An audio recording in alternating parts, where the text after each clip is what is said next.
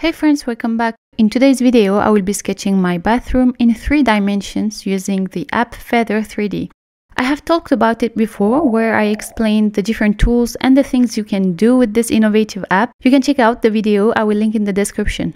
So since then, there have been some updates, like there are more brushes, more settings, and new features like sequence that I will show you in the end. So I'm going to sketch this bathroom.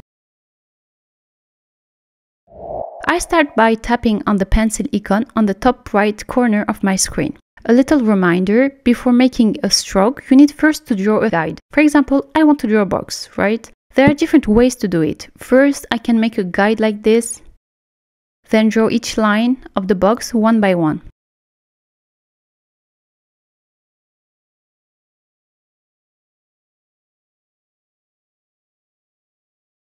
But another way would be to make a guide like this, then draw the whole side of the box. So I will have to draw four guides.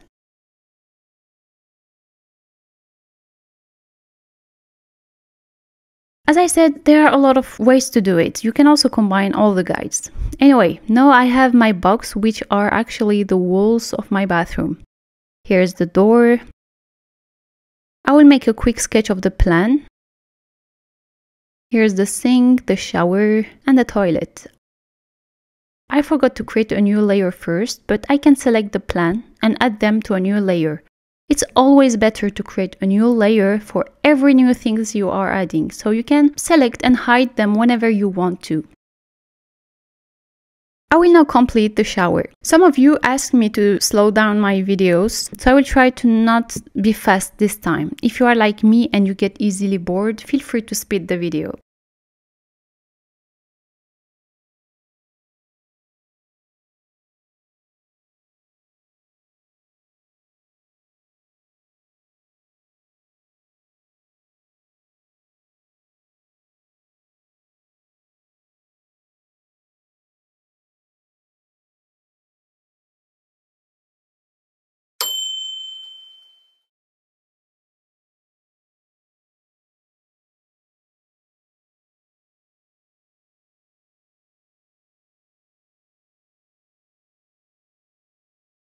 Now here's the sink.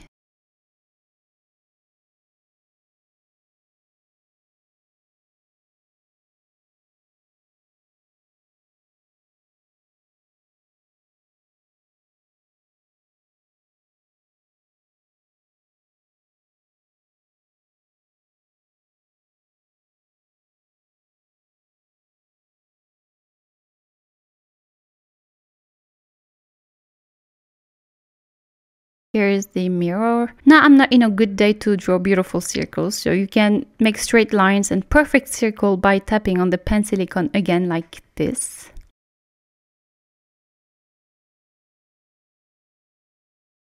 In my last video, I said that I will explain the select and mirror tools later, but I just realized they also changed with the update. I really prefer this version though, it's more intuitive. You can move your objects, you can rescale it, you can also rotate it around an axis.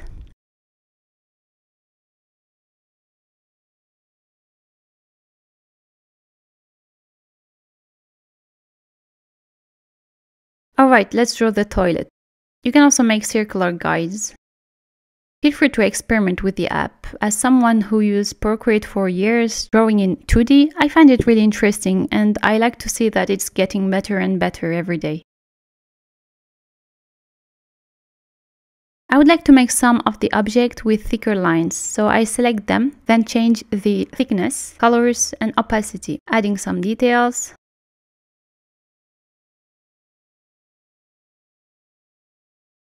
So this is the overall sketch. I would like to fix some parts now, maybe thicken some lines and add some notes here and there.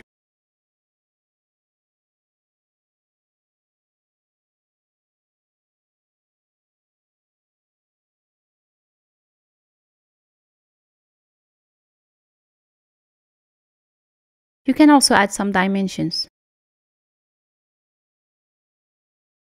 I would like to color some parts. For this, I should also create guides, but then use the brushes. I like the marker for coloring.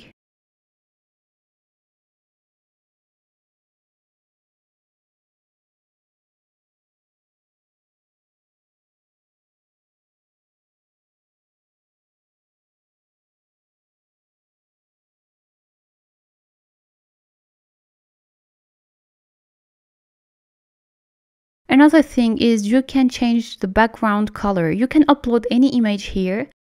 I like the craft background, it really gives a nice view. And the other I love is the black one.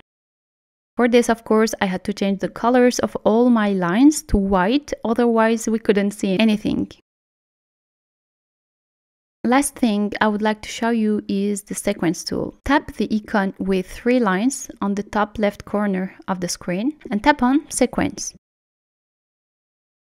Choose a view, then tap on plus to save each one of them.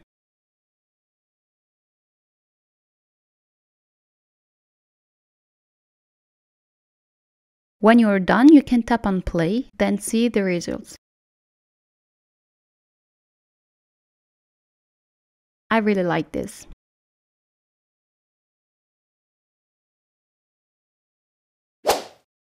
I hope you like this quick tutorial. I had a lot of fun creating it, so please feel free to ask if you have any questions. I will be happy to answer. Until next time, you can check out these videos here. See you!